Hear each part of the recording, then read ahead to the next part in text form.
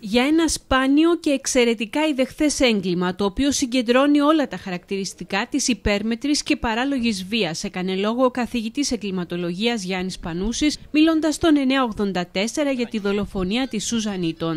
Πράγματι, έχουμε ένα ιδεχθέστατο έγκλημα ενός ανθρώπου, ο οποίος κατά τη γνώμη μου έκανε τέσσερις εγκληματικές πράξεις και βαζιέται ενός. Δηλαδή κτύπησε έναν άνθρωπο, τον βίασε, τον ο, νεκρό ε, ασέλγησε και τον πέταξε και σε ένα χαντάκι. Άρα έκανε τέσσερα πράγματα. Ο Γιάννης Πανούσης δεν έκρυψε την αποστροφή του για τις γενικεύσεις και τις αυθαίρετες ερμηνείες που κυριάρχησαν στον απόϊχο του πρωτοφανούς εγκλήματος. Πρόκειται λοιπόν περί ιδεχτού περιπτώσεως μιας ειδικής ψυχοσύνη. Τώρα, το να λέμε η Κρήτη πενθεί, οι κριτικοί δεν αγαπάνε τη ζωή, οι αγρότες είναι σεξουαλικά πεινασμένοι, οι τουρίστες κινδυνεύουν να τους βιάσουν. Αυτές οι γενικεύσει στην Ελλάδα εμένα με σκοτώνουν πραγματικά. Ο πρώην Υπουργός Δημόσιας Τάξης αναφέρθηκε σε όλο το φάσμα των αλλαγών που χρειάζονται σε επίπεδο πρόληψης και καταστολής, όσο και στο σοφρονιστικό σύστημα προειδοποιώντας για τον ευνηδιασμό της ελληνικής κοινωνίας από τη σταδιακή άνοδο του φαινομένου της παράλογης και υπέρμετρης βίας, που ο ίδιος και οι συναδελφοί του διαβλέπουν ότι θα επικρατήσει τα επόμενα χρόνια. Τα εγκλήματα πάθου ή κακιάς κατάστασης, ή κακιάς στιγμής δεν προλαμβάνονται. Έχουμε να κάνουμε λοιπόν με το οργανωμένο έγκλημα το διεθνές, το οποίο στη μεγάλο βαθμό είναι και λίγο, αν θέλετε, business, διότι και ξεπλένει χρήματα και διακινεί χρήματα σκοτεινών πηγών, τα οποία δεν καν φανταζόμαστε σε μεγάλο βαθμό.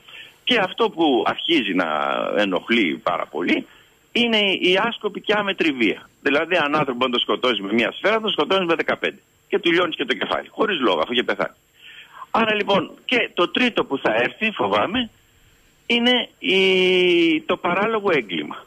Γιατί όταν σκοτώσεις κάποιον να το ληστεύσεις, ε, δυσάρεστο είναι, αλλά περίπου το καταλαβαίνει ο κόσμος. Για σκεφτείτε αν κάποιος σκοτώνει κάποιον χωρίς να τον ξέρει, χωρίς να τον ενδιαφέρει, γιατί το έκανε έτσι.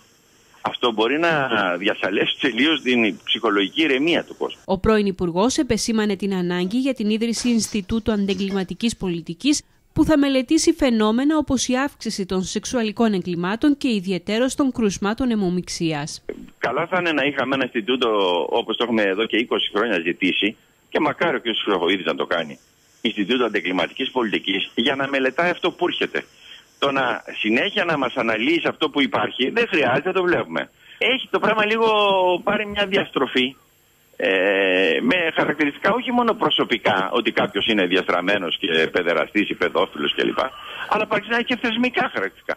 Αυτή τη στιγμή έχουμε αύξηση της, ε, της αιμομηξίας στον αστικό χώρο. Η αιμομηξία ήταν αγροτικό αδίκημα, έγκλημα, δεν ήταν αστικό. Και μπήκε στο αστικό, δηλαδή το 2019 δηλαδή ο πατέρας πηγαίνει με, τη, με την κόρη του στην Αθήνα, ας πούμε, ήξερα και εγώ στην τάδε πόλη. Άρα ε, θέλει, θέλει δουλειά, θέλει ερευνητές.